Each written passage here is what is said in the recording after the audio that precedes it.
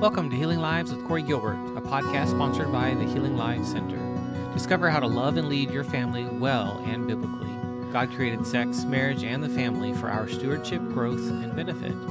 My heart and passion is to teach, train, educate, and disciple Christians that want strong marriages and families. The Healing Lives Center has been serving Christians since the year 2000. Its mission is to be a center for sex, trauma, and marriage education and transformation where we offer counseling, coaching, courses, and speaking services to you, your church, or ministry. Check us out at healinglives.com.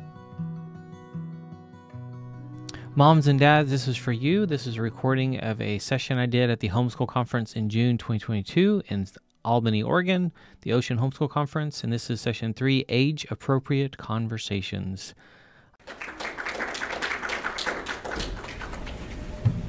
All right, welcome, welcome. So this session, uh, a little different than what we've done before today. Um, the age group conversation, we're going to really literally focus on birth to five, six to ten, kind of what do we talk about, how, and some of those kind of things. So hopefully a very practical application. The QR code here is to access the handouts that'll be later. if They're not on there right now. And then the um, record the video recording as well and some other stuff as I continue to do that. So um, welcome, welcome. Now, let me start with a story.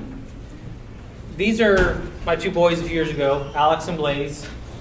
Um, most of us, when we when we go somewhere, we tend to have an expectation about what's going to happen at a location. So, I love to go skiing. This is Hoodoo, one of our favorite places to go. It's the last day of the season. Um, people were doing some crazy stuff. There's people up top jumping off with uh, hang gliders and doing some crazy stuff. People wearing um, interesting clothes and outfits. Well, there was a number of girls wearing um, sports bras, and my son was like, "They're not supposed to be wearing those." It's like, wear whatever they want. It's none of your business. It's a little kid. Um, and so then he went up to one of the guys and said, "Why is she wearing that?" Because he's got no filter. And he said, "Because she's hot." He's like, "So which one is it? hot temperature or anyway?" So we went on the day or continued the day, and then all of a sudden, down comes a girl topless. I'm like, oh great, this is going to be fun. Luckily, Blaze was nowhere to be found. He did not see this because he would have just had a heyday with that one. Instead, it was Alex. So I chase after Alex, and I get to the bottom of the slope, and there's Alex just wide-eyed. Because this was not a small young, small young lady, old lady. It was not a young lady. Um, she was quite large and she had flown right past him. So then I passed her, got to him, and it's like, so, first time? He's like, yes. I was like, how'd you like it? I'm not going to say that. I didn't answer that. He's just totally embarrassed. It's a horrible moment. He's just shocked. It's not what you expect. And if you think of what we do as parents, everything we're trying to do is trying to protect them from certain things did not expect to go skiing that day and have to have these conversations. And what we're going to see today is actually most everything that's going to happen is going to be uh, almost happen outside of our purview or our ability to control, which is why we must be earlier rather than late. A lot of times, I, what I'm seeing is most often we're erring on the side of too late. Even to this point, to the point of that our children will believe almost whatever they hear first. It's just scary to think about. So a number of years ago, actually I think it was two years ago, California mandated that all kindergartens have to teach all 15 genders. I'm not sure where they got 15 from because Facebook has 75 to 90 something, and they're in California, so they haven't talked. I don't know if they haven't caught up yet. But parents are freaking out because if you live there, you kind of have to have six jobs to live. So you can't have a stay at home mom very easily um, or dad. So what do you do? And then here's what I hear from parents. Well, my child's too young for me to teach them, but I'm going to send them to school, and they are. So they're not too young for them, them, whoever them is, but they are too young. For, no, we need to reverse that. We need to be the ones, if they're walking into that school or in that any situation, we have prepared them um, for what's what's next our experience influences our parenting. All of our experiences do. Everything that we've been through. For some of us, the reason why we actually homeschool is we homeschool because of something that's happened to us, things that actually harmed us. And if we don't deal with those things, we actually tend to pass that on in other ways of either overprotection um, or other um, setups that actually hurt that child as well. So we're literally today going to talk through uh, what does God say about you, and then what does God say about others and the boundaries. Kind of looking at you and others in terms of these age-appropriate conversations. Now, um, I know some of you may not like movies, may not like um, you enjoy. I love movies. I love going to the movies. I love TV shows, and you can't watch one nowadays without something. It's really frustrating. Something either inappropriate or something just downright wrong in almost everything. And you have to make a decision as a family. So what do I do with that? How do I navigate that? I can either avoid it all, all completely, or there's lots of conversations that have to be had. First time that we were watching The Voice, I love that TV show. And these two kids get up to sing together, and it was a guy and a girl, except they were twin girls. Mm-hmm. And one had transitioned. And my son's like, What? And we pause and we have a conversation. Well, a number of years ago, um, I took my kids to see this movie, Ready Player One. Great movie, really interesting movie. Um, I have a, I think it was like a 10 year old, a 8 year old, and a 6 year old, something around that age range. Two boys and a girl, my, my kids. And we're watching this movie set in the future, and basically people escape the crazy world they live in through VR, so not too far away now with our lovely Oculus. But there's this one scene that came in, came on there that I'm just like uncomfortable. It wasn't bad, but I'm uncomfortable as a dad sitting next to my two sons and my daughter. So after this was over, we get home. I asked them so separately. Tell me about, about what you liked about this movie. And so this was the, the scene here. Is when she was they're in their VR personas and she's dressed in this really tight form um, dress, really pretty. Well, my oldest son, he was just uncomfortable kind of like me. He was very aware that, hmm, and this is not, I'm not sure what to do with this. No place to kind of put this in my head. Um, my other son, there's a, the VR suits that they wear actually do pressure points on the body. So if you get hit somewhere, you feel it in your body. So he just loved the scene where the guy got kicked in the crotch and he got hurt through VR, and he just like, oh, it's so funny. Just that was his. That's all he could think about. But my daughter was like, oh, what a beautiful dress, and she just thought that was such a pretty dress. And to see all three of our kids are going to face these questions and these things at different ages. When we talk as a family about these topics, we actually we have a tend to have a room full of different age groups. you can't you could, I guess, if you have all, all sorts of time, segregate out. We're going to talk to this age group here and this age group. Then you have to keep notes, by the way, probably records, maybe like a committee to know who, which kid have you talked to what about. No, we don't do that. What we do is we actually have conversations, and the older kids are, tend to be the focus, and the younger ones are kind of there. Kind of like even for today. When they're younger and they don't understand what's going on, they tend to just not understand what's going on. Like, I really, we err on the other side. We err on the side of protecting them from versus preparing. Because when they're ready, they'll finally have a file folder to stick that information in. It's like it just kind of sits there waiting, and they're not ready. When I deal with kids who've been, who've been sexually abused, and I'm talking to the parents usually at this point, it's preparing them for when their brain finally catches up to what actually happened to them physically. And when they finally come to an awareness, it's like, oh, that's what that was. Oh. And then there's a two, two pathways one of just going downhill, introversion, or acting out like crazy. And it's like, it'd be nice to find either one of those and find a third alternative to what's going to potentially happen. And so when we have these kinds of things, you and I all, we're all trying to navigate and decide what's the right thing I should do and what's, what's the wrong thing. There are you can talk to our kids, you can talk to Kelly and I.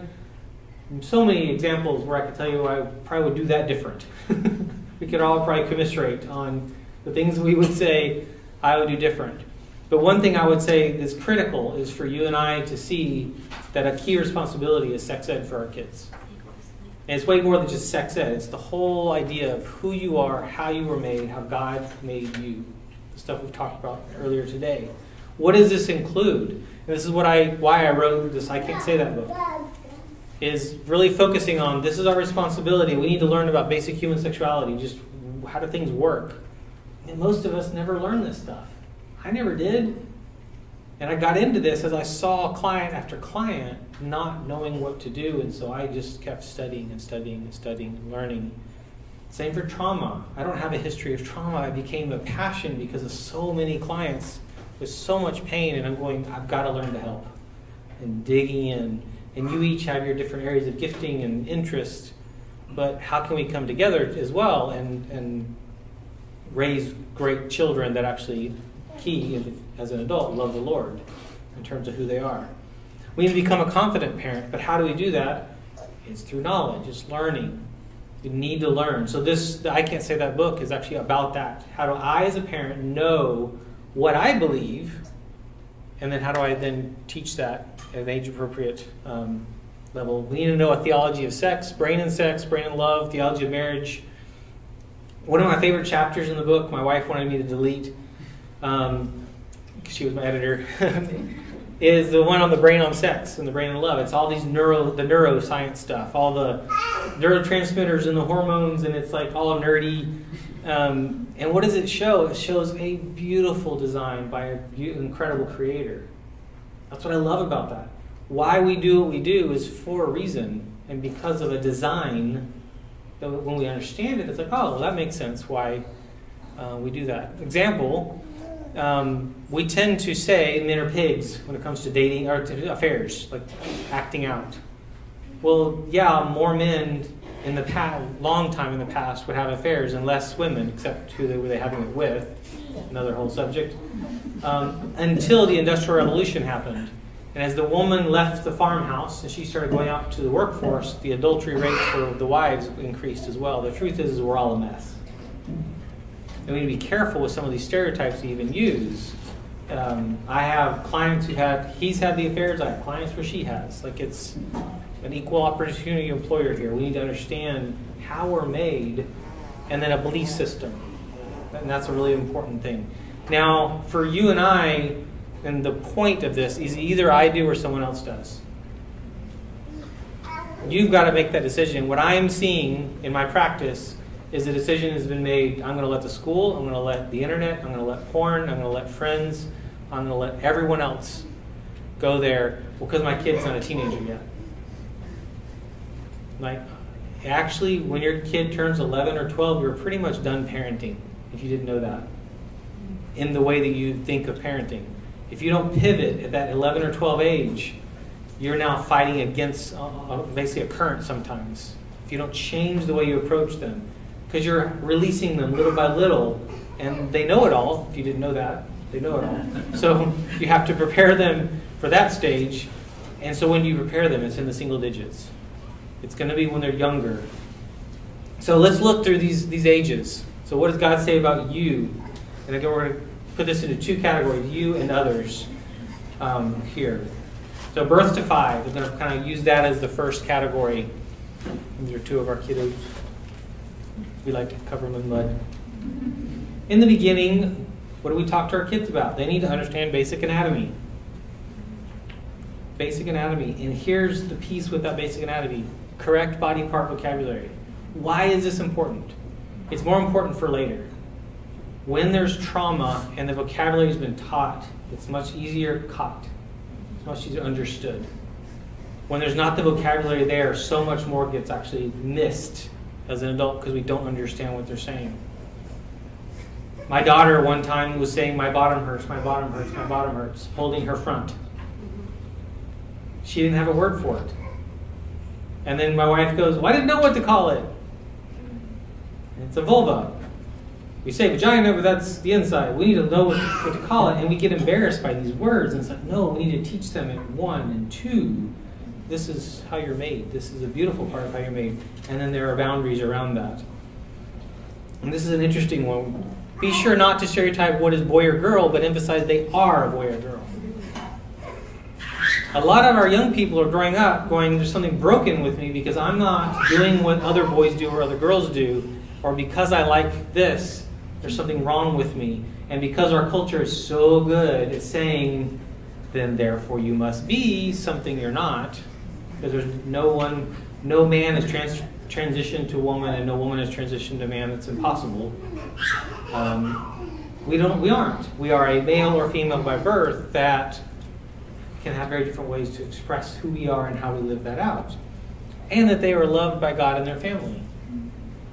These are the key kind of foundations about them that we actually start with. Not when they're six, seven, eight. This is the beginning. Now, in that birth to five, what are some other key parts of this? About others. Recognizing that others and their bodies are different.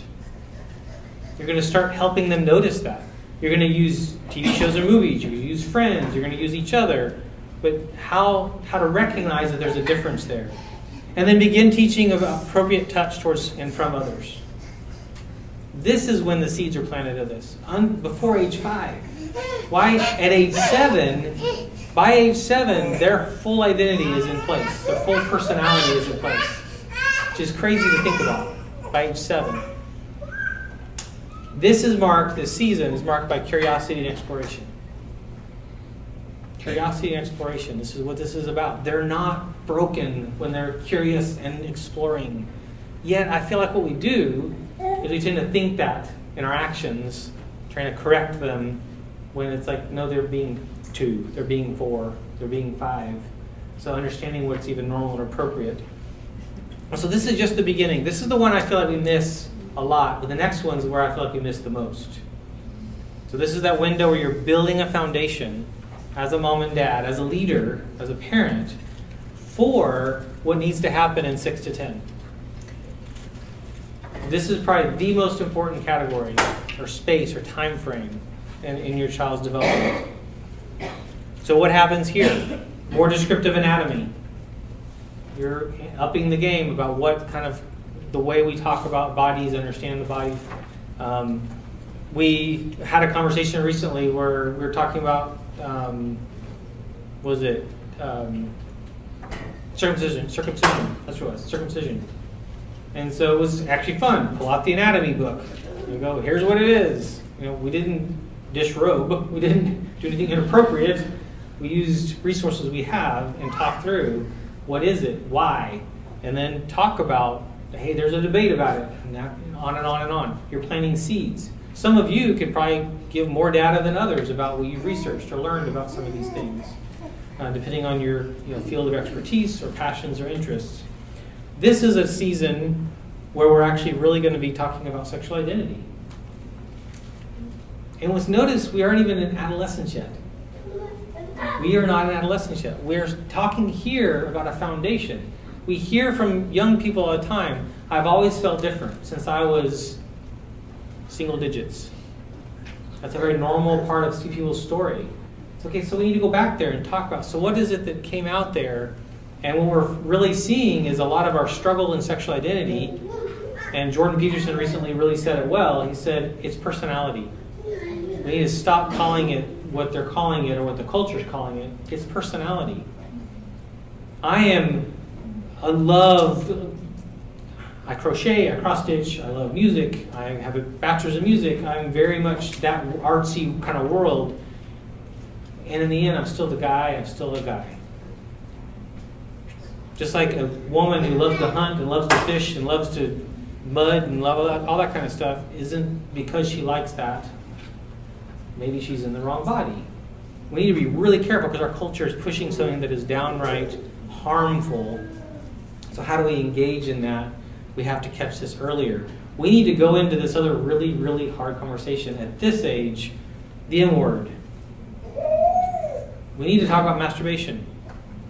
And how we actually talk about it really is important. If it's this is bad, this is sinful, you're going to hell, I promise you your kid will suffer, suffer in silence and they will not talk to you. Versus it being a conversation. I actually ask my sons about what their masturbation practices every few weeks or so. Do they answer me? No. They did when they were younger. But what do they tell? What do I do? By asking the question, it actually moves it out of their unconscious to their conscious, and they have to decide do I take my thoughts captive? Do I steward this, or I just do something passively as a habit? It gives them a chance to steward something that really just tends to fly under the radar by asking these questions. You need a theology of this. That's part of what I have in my book, is, is in both of them, is this how do I talk through this really, I would say, controversially tense topic? When I started teaching in Georgia, I had um, the, the counselor was on stage doing Q&A with students. I'm like second year teacher, and the question of masturbation came up, and the, the counselor actually said this from stage in front of thousand students. Oh, ask Dr. Gilbert about that. He's an expert at that. so I had a lot of students going to, I heard what you're an expert in. Thanks. That's really embarrassing. and I'm in my, what, I think I was 30, yeah, actually 30, 31. So it's like, wow, this is really not good we need to know how to talk through this. And one of the kind of a simple summary of the way I, way I talk through this is we need to stop just say, hey, this is sin, slap your hand and move on. We need to help you steward what's happening in your head, heart, and the fantasy. And when I engage in this practice, am I actually growing closer to who I'm fantasizing about and getting further away? And when I start consciously thinking about this, I'm getting further away. And now I have a choice. Do I want to get closer to this person or further away? And now I actually have the choice, and I tend to hear from most of the, the guys and girls I talk to, I actually don't want to do it as much anymore. Like I actually am stewarding now. I have choice now. Where it felt like it was some beast within that could I couldn't control. That's because it was in the unconscious, and I just had habit. And a lot of what's happening for us is just habit. Same for even pornography. This is a stage of talking about dignity and modesty you, each of your families, you're going to outline what does that mean for your son or your daughter, and how you dress and how you present yourself. Uh, my daughter got a pack, you know, a whole bunch of hand-me-down clothes at one point, and my wife pulls out this sports bra, and she's like, "So, is this going to be what? What's the rule or a home, an underclothes only, or she can wear this around the house, which is fine when they're little. You're also planting seeds as they grow up." And so my comment was, that's underclothes. And it becomes, we set the tone, so do you. I feel like we don't tend to do it thoughtfully. We just kind of let it happen. But this is that stage prior to the fight later on about whether something is inappropriate or not. You're, you're planting seeds as to what our home expects, if you will. And then it's a dialogue. As they get older, especially past this age, um, this is a time of negotiating and back and forth as they have their own personality and opinion and you're wanting to relate to them. You have the veto card, you're the parent, but um, how do I draw them to their own, um, not to, to believe what you believe exactly, but to think through what they're doing. Pornography. The average age that a kid sees porn is in the single digits. We don't wait till they're 10, 11, 12 to start talking about this. Now, many of our families, maybe that's not the case because of the way we've set up media at home or access to stuff. Great. It's going to happen at some, some place. And actually, most of the time, it's somewhere outside the, the tight reined web of control that you've created as a parent. It's sitting in the hallway at youth group, at church, or at the pastor's house, or somewhere where you never would have guessed that somebody pulls out a device and starts looking at something and you need to have helped them think through that when that happens, their immediate response is, hey, we don't do that. It's not curiosity. It's not, it tends to be curiosity paired with disgust in the first time for many boys and girls, but then curiosity tends to trump it. Help them see that no, we don't treat people that way. We have a boundary. Why you've already prepped them, talking through this is something that is a misuse of people. Now, one of the places we're going in our culture with this is I don't know if you've heard of ethically sourced pornography. So, welcome to, I guess it's like free range chickens. I don't know. so, it's not people who've been trafficked or abused or, but this is scary. We're trying to normalize what even secular culture is saying, you know what, this is a health hazard. This is a bad thing for our, our world. Even secular researchers are saying this is a bad idea as it just keeps getting pushed more and more and more and more. It's just normalized even. And among our kids, in the circle of friends that they have, not ours, all of our kids, some of those kids, because of where they have or haven't had these conversations, it's very much either normal, if not pushed. And so that's something we have to be preparing them for, to think through, to steward, even though we would really wish to say they're not old enough. They're not. You're not. We shouldn't have to deal with this, but it's the world we live in, so we need to prep them. Another one is periods and what dreams prep. It blows my mind the amount of women I've talked to who they thought they were dying. No young lady should come to that age and think they're dying. They should have conversations to know what's coming next. How? My wife's in the bathroom on her period, and my daughter's going, What is she doing? And my son's standing right there, and it's, Well, she's having a period, and that's explaining what, it's, what happens and why, and God's design. And they go, Ew, they go, Gross. They have their reactions. But it becomes something that's just a normal part, not an assault on myself. Whereas I've heard from so many, I literally found myself somewhere thinking I'm dying. That's not okay. Wet dreams. The young young men, you need to know what this is and have it been explained and talk through it and know, help them normalize that so they're prepared for what's going to happen and they're also not messed up um, with that. Gender. You are a boy or a girl. Doesn't matter how many, if you undo your onesie, doesn't matter if you undo your onesie, it doesn't matter if you, you know, want to dress a certain way, or it doesn't matter what you want to do. I love putting on my grandmother's house the high heels and all the stuff with my million female cousins that did whatever they did to dress me up as a little kid. That doesn't mean you're not a boy or a girl. It means you're playing a game. So be careful. But yet, what I see is these families who have changed the decor of their home and their kid's bedroom, bought new clothes, bought toys. And it's like, that kid didn't have a job. Mom and dad did that. And they catered to something that's a lie. And now we got even a bigger problem than we had before. So being really careful to, to guide and lead them, even though it sounds and feels unloving uh, we need to talk to each of our sons and daughters at how you are fearfully and wonderfully made and how you live that out. It's going to be different than maybe someone else because we're constantly comparison, comparing. We begin this stage talking about sexual reproduction as well. How? Lay it out there. There's actually a box set, and I'll have a link on my blog. It's my blog got messed up, so I had to redo it. But there's a box set of what we have, the books we had on our shelf.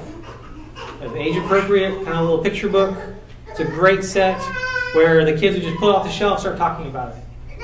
Really, really good. And sometimes we would go find the book and pull it, um, pull it off the shelf and talk to our kids. Remember the first time Alex came up, asked a question, we pulled the book out, or actually Kelly said, Corey, help. And we pulled the book out, read it, and he's like, oh, okay, off to playing Legos. But then the next time he asked the same question, and he's like, oh. Like, it's like it finally landed. You're, you're wanting to be ahead of that curve, not behind that curve, where he's maybe asking questions where he shouldn't, or Google or Alexa or somewhere else. Um, and the important thing about this stage is personality is set in stone at age seven. Who they are. And here's the even creepier thing what is going to change that personality after the age of seven? Trauma. Trauma. Careful what you pray for. And actually, sometimes that is what we need to pray for. We need to pray for our son or daughter to be broken to get it. So I'd rather them break here to come to Christ than to live a life apart from Him. So it's like we need to be careful what we pray for, but be intentional. By, by seven years old, some parents are still trying to find sleep. Like, it's an elusive thing. And they're trying to, to it's just survival, which is why we need one another. We need you know, our churches, we need family, we need relationships. We're not supposed to do this alone. Now, the same stage, what about others? We need to be planting the seeds at this stage what this whole boyfriend girlfriend thing is. What are the, your rules? What is your parameters for this? When our kids were that young, our conversation was you can start dating when you're a junior or senior in college. And at that age, you're like, whatever, they don't know what that even means. And then our oldest gets 12, 13, and starts liking girls, and it's like, okay, passport purity, what did that? Actually, at nine, we did that with him. And we have these conversations, and then he starts being interested in girls, and so how do you handle that? Well, he knows it's not a rule that you can't. It's careful of expecting you have to. And that when you do start actually being serious with someone, and we're all probably going to differ on what that age should be, what's next? What are the boundaries? Can you only do only spend time at someone's house? You know, can you go out by yourself? What when they turn 16 and they can drive? What is it? You're planting these seeds not at 10, 11, 12, 13, 14. You're doing it in the single digits. So that when you get here, you're having less of a battle. Because we are having, for many of us, our adolescent years are a battle of the will or because I'm the parent card, which we need to be careful of. So at this point, you need to be planting the seeds of what is our family's expectations of boyfriend girlfriend. That that's a note. That here are the boundaries, or this needs to be done. Um, I, if you have a daughter, I'm already ready to have my AR torn, torn apart on the table and tell the young man, all right, put it back together. See how that goes over. But she's 11, so not there yet. Another ones we actually need to talk about the masturbation piece, but from the others. What about other people? So it's not just a personal thing. We need to externalize this. That when you do this yourself, how does this impact, as I kind of mentioned earlier, other people and relationships? And so this comes up here on the others because it's a boundary too that I need to see that my choice actually impacts how I relate to other people. I say I want to get closer to him or her, but yet what I'm doing is actually making me go further and further away in my heart. So when I'm aware of that, I'm more in control, if you will. Trauma and abuse, another really, really important area. We talked about in the beginning, an earlier age, that we actually need to prep in terms of vocabulary. It's for this. Every time my kids stayed with a babysitter, when they left, and I would tell my, these were students in Georgia, uh, they were students of mine, and so they knew, because I, I would say this in class, that when they left, I would ask my sons and daughter about did anyone touch you? Did anyone change your diaper? Did anyone, like, at these earlier ages? I wasn't looking for them to tell me the truth. I knew that was far fetched. I was looking for them to change the way they were answering me. Because then I know something happened. One day I came home, we came home, and our um, lovely, amazing uh, babysitter was like freaked out. She's like, Your son, I deleted it already, but your son took my phone and took a picture of his penis. Oh my gosh, what in the world? So sometimes your kids would just be nuts. No pun intended on that word. Anyway, um, she deleted the picture supposedly. Um, that's going to happen. You want to prep, even like my babysitters are college students, they knew that I was going to do that. It wasn't something covert, kind of like the teddy bear cam. it wasn't that and they know. And we have cameras around our house, mainly aimed at screens. So I can pull my phone out and check and see what's on any screen in our house. And that's what we've, well, it's given us freedom to we're here without our kids, which is kind of nice. so, pornography is another one that also applies. What about others?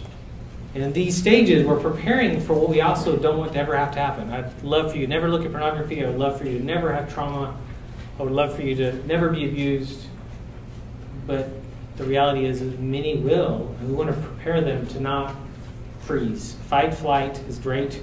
We don't want freeze. And so we want to be able to prepare them by teaching some of these skills, which is really important. When it comes to pornography, we want to teach about where where this stuff is coming from and the human trafficking and things like that. Oh, they're too young. No, they're not when at this age they start connecting the little boys and little girls just like me get stolen off the I-5 corridor right here from parking lots along this, they start seeing the world a little different. You're not there to scare them, and you have to be careful. Every kid's got a different sensitivity level, but helping them see that this is a world that we need to be smart, to be wise, to do things in twos, to be in groups, to be careful with that. How do I be a friend? What does that look like? This is again that stage where they're learning and they're, they're relating. Who first to? Mom and dad. Who else? Siblings. And then it goes, it gets, the, the circle gets bigger and bigger. When we moved here to Oregon from Georgia, we realized like our kids, their whole world was that one little house in Georgia that we lived in. Kind of neat and weird to think about. Their whole world was that house. Went to church, but they were so little, there's not much else that they did. and to see that they not only drove across country, which we've done tons of times since, but their world was expanding, and that's what we want. We want their world to expand. We want more control over it, probably than um, than not. But another really important part of this section is they are under authority.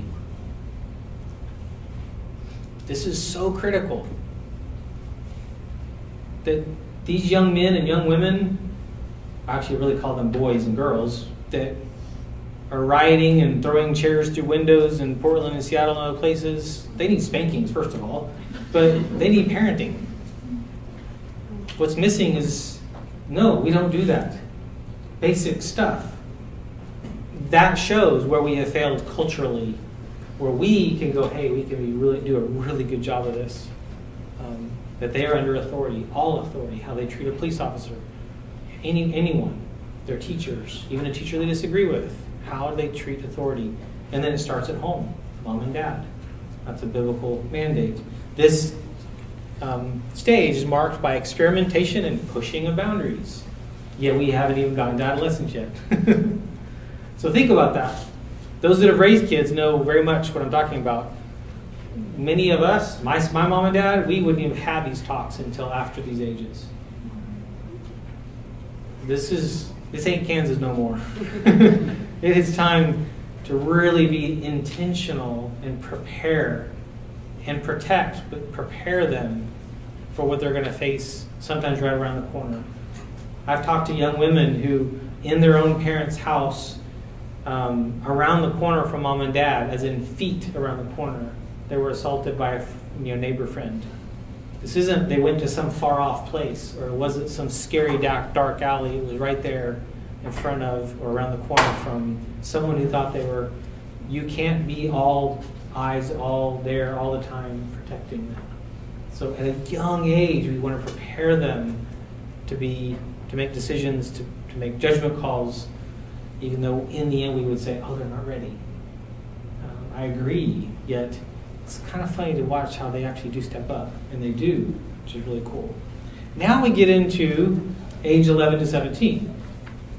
So now this is when we actually might start maybe thinking of considering having the talk. oh. And your kid goes, "So, mom and dad, what do you want? What do you want to know?" And they're ready to tell us about sexting. We haven't heard of that before. Or, "Mom, have you seen TikTok?" And they're completely addicted to all sorts of crazy stuff, and we're clueless if we haven't been monitoring those things and trying to stay on top of what our kids are facing. When I wrote this book, too, I, I put micro conversations through the whole thing.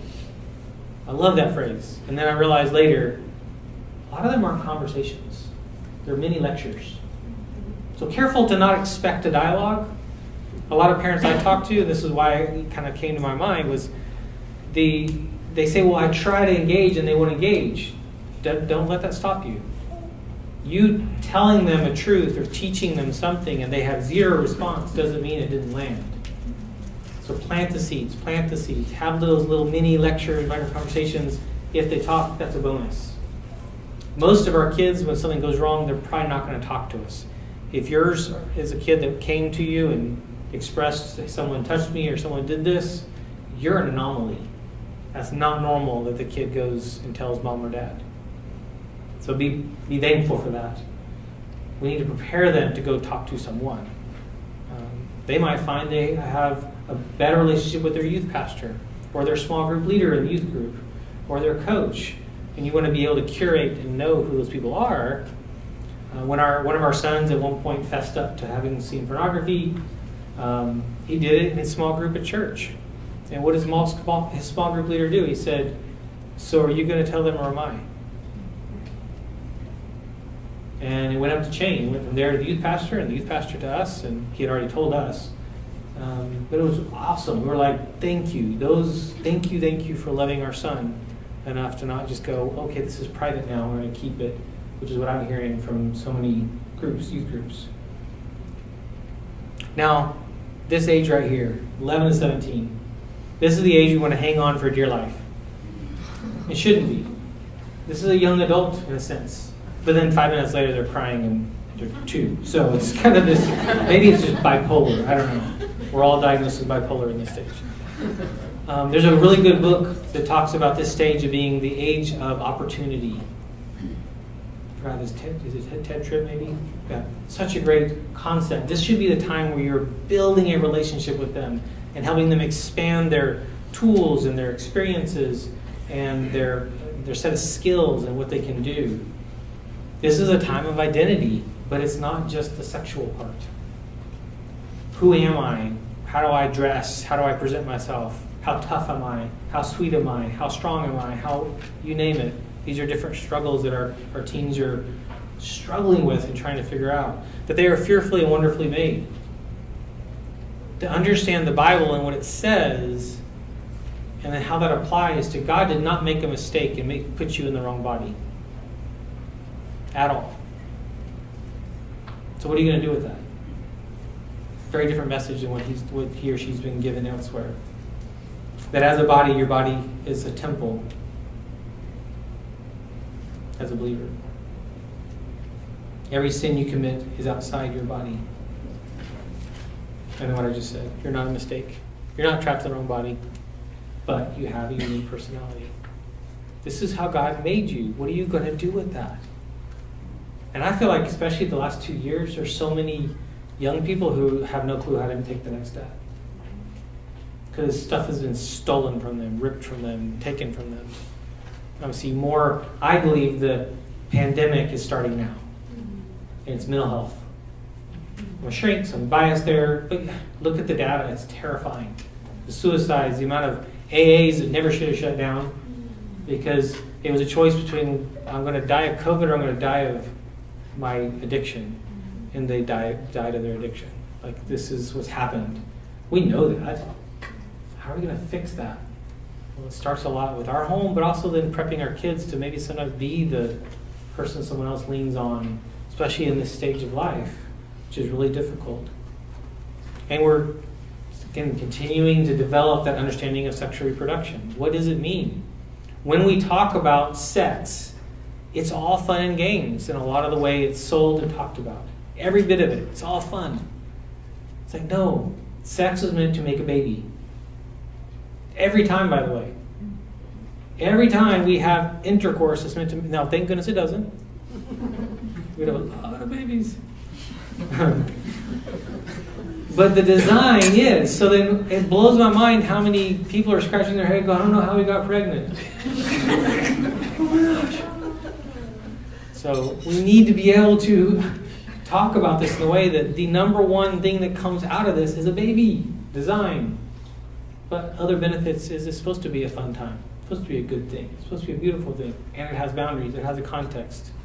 There's a place for this. Outside of that, it's actually I breaks my heart to think of how many wonder how many kids they have or wonder what is happening. What scares me even more, guys and girls, this is not an equal opportunity employer here. What is the most feared STD? AIDS. Yeah, AIDS is the first one that comes up. It's number nine on the list. There are eight other ones that are worse. We just like that one because it's hip and popular. Just kidding. The. Babies the number one is babies. We treat them like they're just some accident. Oops, I have a scratch or an itch. And what's scary is some of those top ones, chlamydia and things like that, have zero symptoms. And when you finally find out when you're trying to have kids, when you're married, if you have it more than once, and again, this is women, your potential your potential for being able to have a baby goes into like the 20% and a radical hysterectomy is next. This is not fair. So then I would say, guys, this is on men to step up and be the man and actually never, ever, ever, ever put a woman in that kind of position. It's on them. And biblically, that's actually exactly the design of marriage. That the ownership of this is on the men. And what actually is the reality? The man pushes and pushes and pushes, and who's having to constantly say no and say no and say no. It's horrifying. So, how we teach this, what kind of man are you going to be, is really, really critical. How do you refrain from sexual immorality? What does that look like? Temptation, hey, that's normal. Desire, yeah, that's, that's there, no matter what age you are. How do you manage social media? And there's a really easy way to manage social media, by the way. It's called not having it. Um, I used to, at Corban, I would always create a Facebook group with our freshmen coming in. It's been actually really cool the amount of freshmen coming in who don't have Facebook, mainly because mom and dad are on there. But um, it's changing. But what's scary is they're moving to probably worse places with Snapchat and TikTok, basically some of the most popular. And what's happening? We're losing our kids. Actually, some of you are lost too. Your relationship with your phone is a little more intimate than your spouse. So, just saying, we need to be careful, and we're not always the best example of that. So, managing social media, what you do or don't do, what you do and don't post. Some of you need to stop commenting on other people's stuff because you're just stirring up fire and stop it. um, go play with the kids or something. Go do something different. But we are becoming the example, and we need to talk through this with them because at some point you're going to have to probably let them have something. When is that? Well, here's what I'm seeing. I'm seeing a lot of homeschool families who it's boundary, boundary, boundary. They're 18. All right, leave the house. And now it's everything is available. I don't have mom and dad now, so I can get a phone. I never had a phone before. Now I can get social media. I never had it before. Now I get. And they're going crashing and burning because everything is fair game. We need to be careful how we navigate this to help them make decisions within our purview so that when we then take away those, they're actually making wise decisions. So, how you manage that's really difficult. Who are their idols and who influences them? Really, really important.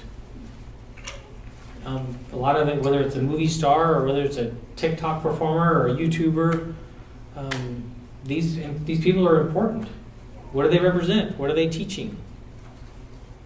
Dating, courting, further defined in boundaries at this point. What does that look like? The session I did before, we talked through kind of a, a design of that. And again, we have pornography. This doesn't change. This is something to steward and to understand the effects.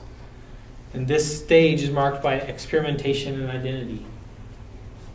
Erikson's stages of development uh, from psychobabble stuff. This is the stage of identity formation. It's what it is. It's neat to see that way back when was still identified as that, and we're still kind of in that same space. Although we we create adolescence, and that goes till what 17, 18, 19 maybe, or does it go to 30? like that's even changed. Where if you think of a few generations ago, how many were married at 14 and running the household? And it was normal. It wasn't like an overburden thing. So we've changed a lot, and we need to adapt to those changes. So there's some expectations too of you probably can expect more out of your 12, 13 year old than you realize. Chores, that kind of stuff. It starts at home. How are you treating others? This is again, how, how did they live this out? What does the Bible say? Not mom and dad and social media. So getting them back to, to the Bible, what that what it says. Deepening their identity. Are you kind, respectful, respectful? What is your work ethic? Is being played out. How do you love and talk to and be have relationships with men and women who are LGBTQIA plus? Something we never even conceived of when we were kids. How do you love? How do you and love is not endorsed. Love is not become a ally. Love is not um, put a, a, flag in front of your house. Love is not all these things that it's become. Love is saying, I love you so much. I'm calling you to a higher, basically, level. That here's the, what Scripture says, and your life will be way better here, which is really important.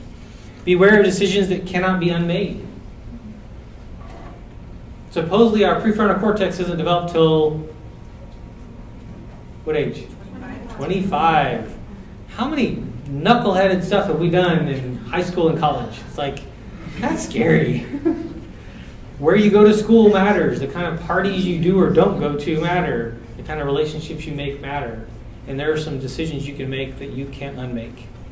And so being able to be really intentional at curating your life, being careful with that, and you're helping them do that. Maintain an integrity of your convictions and what God um, is saying. We need to know God's word. This is really, really critical. Now, today, in this, I spent less time on scripture. I did more of that earlier in the two sessions today because today was more of these topics. What do we say? What do we talk about? Um, this is what we're seeing more of. This is the norm. My wife and I were at a restaurant not too long ago, and we looked over, and there was, I think was six or eight college students, and they had a stack of iPhones on the end of the table. It was awesome. There was one girl who was orchestrating this, so it shows you can you can influence your friends. When they went to the bathroom, she passed out all the phones because one of them makes a noise, and they all look at them, and um, they all check their phones. And then when the last person came back from the bathroom, that she give them back, piled them up on the end. It's like we need friends like that. That's a leader, by the way, and they're leading in the right direction. That we, too many of us are not present. And they've even shown research that your phone, if it's just sitting out in front of you, you're showing you're not present. It's more important than you are. Put it away. You know, it could also do what my wife does and just lose it all the time. But put it away. um, what do we do with this? So we kind of give you three words and then kind of some lists to kind of finish this here. Um, put this together a number of years ago, thinking about these the I guess plan that I would want for you for your kids. The first is a vision we, if we don't if we don't have a where we want to go, it's kind of hard to make decisions today. We just kind of wink it, kind of just going halfway. And I want to focus in on a vision for growth and maturity. So, what are those things that need to be given to our sons and daughters to help them navigate? They will make their decisions, but I want to plant these. It's a biblical picture of masculinity and femininity. What are their spousal standards, sexual boundaries? And you notice this is on one narrow path. There's lots of other ones. So I'm not talking about how you're going to manage money or all that other stuff. This is really critical. It's the area I spend most of my time in. What does it look like to be a man? What does it look like to be a woman, to be a husband, to be a wife? What do you expect? What are your absolutes and what you would not do? And then where do we get this from? And this is where you and I come in as moms and dads. We develop a code at home. What does that family code in our home come look like? We need to have rites of passage, significant tasks, logical consequences, and grace deposits. Our home needs to be a place where we actually help celebrate the milestones that our kids are going through.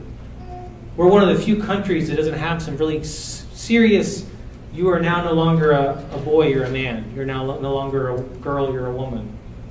I remember being in seminary, walking down the hall of the girls' dorm. I was an electrician there, and you're supposed to yell what? Man on the hall. And I was like, boy on the hall! I couldn't even say the word man because I was like, don't, am I? I don't know. I'm in the girls' dorm. Is scary.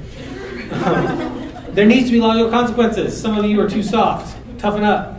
There needs to be some natural consequences. Call the cops, maybe. But maybe, preferably, you handle some things first, not just let things happen. There needs to be things that they do. There needs to be actually grace. Our pastor mentioned recently how we've done a really good job of moving more towards grace. We've also gotten away from obedience. And years and years and years ago, when he started, it was all about obedience and not a lot of grace. It's this pendulum. We need to be careful with that. I don't know why I put this in here, but I thought it was really cool. so, you know, son hates us we won't let him play football, but we like his brain. so he decided to do karate now, and he's going to says he'll play in college. We'll see. and then this third one, a cause. What does this look like? Finding a cause to fight for. How are, are you going to impact, or going to, are we're going to impact others for, for the better? Really cool to look at a young person who knows they want to be a doctor, or want to be this, or want to be that. That's such a cool. It's so also cool to see how many don't become that because um, God has a different plan. My goal was to be a missionary and go back to South America and work in music, and you have to have talent. So I didn't go that direction. I tried to go that direction. Um, and I had passion, and I see how God used that to turn corners and take me to the next step, the next step. You need to help your child find that. And it may not be you who's doing a lot of that navigating. It may be actually other people you're curating, you're bringing into the fold, if you will. And you want to be the one that helps do that, not kind of just whatever happens or whatever group they end up at. Um, this also goes for us. Why are you doing what you're doing? Some of you have jobs you hate. Some of you have jobs you hate, but you love the job because it provides the money to do the stuff you love, and you have a good balance there. Some of you just hate your job and your life and everything else. That's a problem. Like, you created it. I see couples, it's like we hate each other. It's like, great, you created this marriage. Blame who? You. Okay, how are we going to fix this? We need to change our, our tactics and learn that I can choose to love you or I can choose not to. That scares me. It scares me. I have that free will. I choose to love you or I choose not to. This passage really hit me years ago and just keep coming back to the what is our call and then we're going to raise our sons and daughters to do. Teach the older men to be temperate, worthy of respect, self controlled. Likewise, teach the older women to be reverent in the way they live. Then they can train the young women to love their husbands and children and to be self controlled and pure. Similarly, encourage young men to be self controlled, live self controlled, upright, and godly lives in this present age. I think I sense a theme in that. That I need to actually be in control of myself, not others do and I just react or I just am. Own, have, take responsibility, become the young man, the young woman that you choose to be. And that's again when you get that vision and you have reasons to, it actually gets a lot easier to make decisions and to become the man or woman that God calls you to do. And I just threw that in there because it's a cool picture. Now, I did the session earlier, but this is a, I created this seminar, Love, Sex, Dating, and Marriage, and it goes through these um, four areas. And it's for this purpose. It's about seven hours long, but it's looking at dating and then looking at questions to ask and things we talked about earlier but then a picture of, so let me paint a picture of what marriage could be like.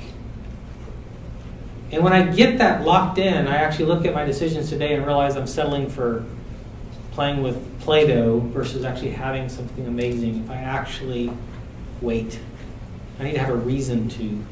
And a lot of times what we do is try to scare kids with pictures of STDs in health class, or you might get pregnant, but when you know everything and you're immune to any consequences, adolescence, then doesn't land. But when you develop a vision for yourself, it's funny how my decisions today, I own them. And I'm actually a little more protective of that. And this last one, the number one area that we can predict a future marriage's outcome, which is scary, John Gottman says with a 94% accuracy, is how you handle conflict. And they're learning it from us first, by the way. So we're the first examples of that. And so helping teach them how to engage in um, debate, engage in conflicts, and disagree, but also be respectful and be is a critical skill to help them grow up into the men and women that they we want them to be. So statement again that I'll keep saying, either I do or someone else does. Which is actually scary to think about. Or the weight's on us. Are you going to make mistakes? We all are. Actually, if we get that out of the way, we can realize that I can choose to make the mistakes and give my kids probably the best gift I can give them. Say I'm sorry and ask, ask for forgiveness and be teachable. We don't want to be some parent that seems to have it all together and the kid looks at us and goes, Well, I can't be like them, so forget everything, them and their God. They show fallibility are much more real for them to actually listen to and watch because they are watching And these are my two. That's my son Blaze. Thank you very much. Thanks for having me.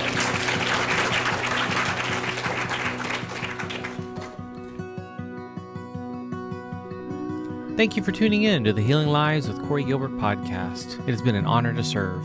If you are struggling, have questions, or in need, Dr. Gilbert offers a free consultation for new clients. Check us out at healinglives.com to book a call. If this has been helpful to you, please share it, leave a review, and help us get the word out so that we can see lives changed, marriages transformed, and more people come into a life changing relationship with Jesus Christ. The Healing Life Center offers online courses, programs, books, intensives, and other services to help you live biblically and well.